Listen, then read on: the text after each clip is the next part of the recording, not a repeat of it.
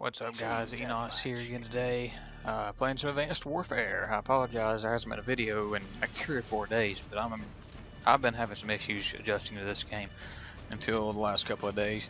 Um, this is actually the first game I played on this, on the, on the new Call of Duty. Um, I just gotten it from, you know, the midnight release on Monday night, pre-ordered it, so I got it a day early, which I'm pretty sure, even if you didn't pre-order it, a lot of people got the day zero release deal just because stores were selling them left and right. Um, but anyway, this is the first game I played. I'm using a Bal 27. Uh, decent gun. I don't particularly care for it. A lot of people find it really good. It's solid for some people. Um, you see, the game's really laggy throughout this, uh, just because it's you know how it is on day one servers.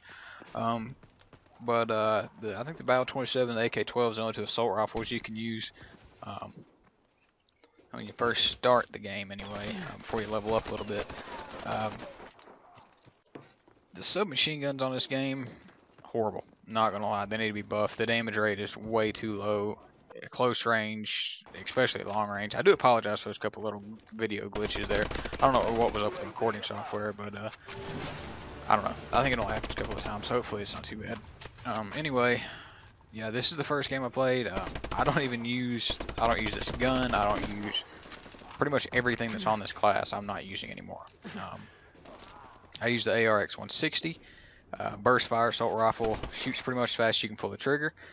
Um, very accurate, decent damage. Um, I'm actually using a version that I unlocked that has less damage with better accuracy and a better fire rate.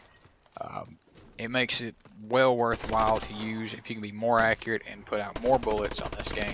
You're much better off than just having high damage, unless you're sniping, of course. But um, you're better off because because of the exo movements and everything else.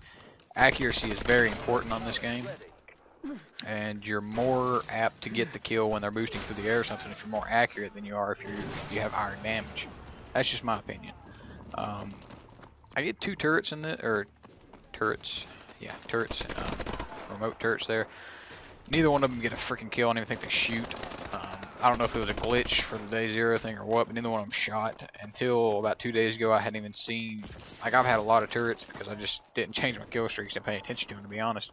Um, you can see I actually try to use it remotely here, and there's nobody in front of me. And somebody set up their turret pointing the exact same direction right in front of mine, which was stupid. Um, nobody comes around, so I don't get a kill on. I just leave. But uh, the turrets just didn't even shoot for like the first two or three days. I don't know what was up with it, but um, like I said, I don't use anything that's on this class anymore. Uh, I use ARX, and my perks are low profile and flak jacket because we're if you get in these close quarter situations or you know you use an extra ability to boost around the wall. A lot of times somebody's going to you know shoot a grenade at you. Um, it's very handy to have flak jacket because you don't necessarily have to boost back out around the corner right in front of them. You can just kind of back up a little bit, let it hit you. You won't take a whole lot of damage. You know, still might be able to get that kill. Um, one of the most useful perks I've found so far is Blast Suppressor. Uh, so you don't show your pings on the radar when you're using your exo movements. It quietens them down. Um, I, maybe maybe other people have noticed, I've definitely noticed, footsteps are almost non-existent in this game. You can't hear people walking. Um, it's almost impossible to hear somebody coming behind you. That got lagged a little bit. Um,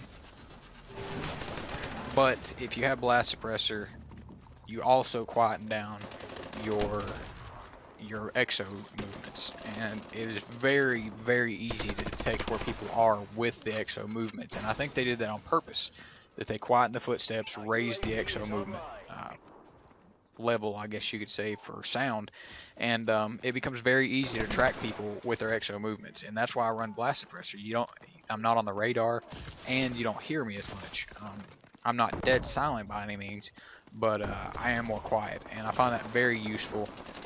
Um, I run toughness, which I've been thinking about trying to get away from to maybe use hardwired uh, to avoid the system hacks because a lot of people like system hacks. That is one of the most annoying things I've ever seen in my life. Um, but it is in the game. You got to deal with it. Uh, I, so I have been trying to think, you know, trying to maybe consider using hardwired instead of toughness. I've never played a match on this without toughness. I don't really know what that's like. I think that's the only perk left on from the default loadout that I actually used on this. Maybe low profile is default loadout perk. I'm not sure, but um, you know, it's.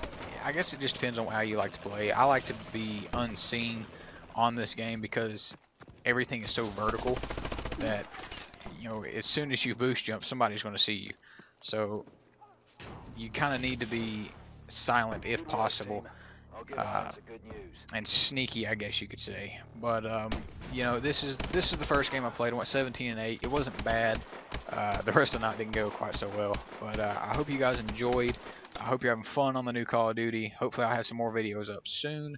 I've got a few more games I want to post now. They're not near as good as Ghost, but uh, anyway, I hope you guys enjoy.